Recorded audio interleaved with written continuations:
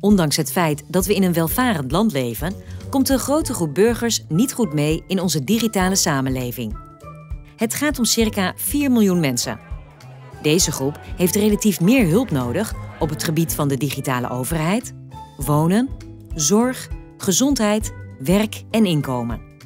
Steeds meer loketten sluiten en digitale toegang tot deze ondersteuning is voor hen vaak lastig. Dit beïnvloedt hun dagelijks functioneren, vergroot de kloof tussen groepen mensen en brengt hiermee een inclusieve samenleving in gevaar.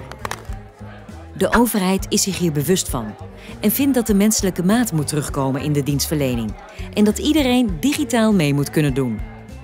De overheid ziet hier een rol voor bibliotheken, omdat zij met hun landelijke netwerk relatief dicht bij mensen in de buurt zitten, op gemiddeld 1,9 kilometer afstand.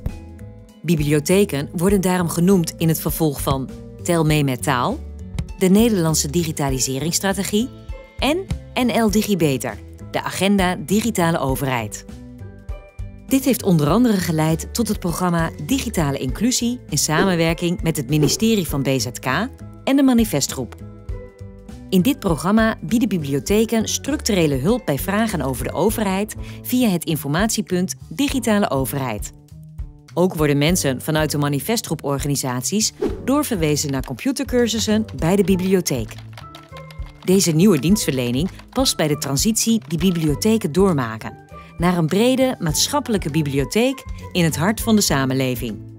Dichtbij, menselijk, neutraal en relatief laagdrempelig. De brede maatschappelijke bibliotheek bestaat uit twee pijlers. Bibliotheken maken burgers zelfredzaam via cursussen Bibliotheken bieden hulp en ondersteuning voor burgers die niet zelfredzaam zijn. Het gaat dan niet alleen om taal, digitaal en de digitale overheid, maar ook om vaardigheden en ondersteuning op het gebied van werk, gezondheid, inburgering of financieel-juridische vraagstukken. De activiteiten en het aanbod in bibliotheken rondom deze onderwerpen groeien dan ook fors en breiden zich verder uit naar andere domeinen zoals bijvoorbeeld het juridische domein in het kader van de gesubsidieerde rechtsbijstand. Ook het ministerie van Justitie en Veiligheid is op zoek naar plekken waar mensen dicht bij huis hulp kunnen krijgen bij vragen.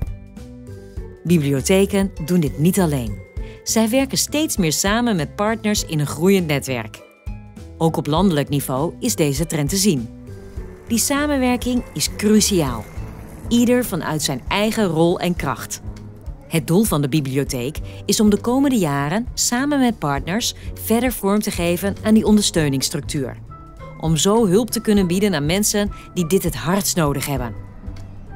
Doet u mee? Samen komen we verder.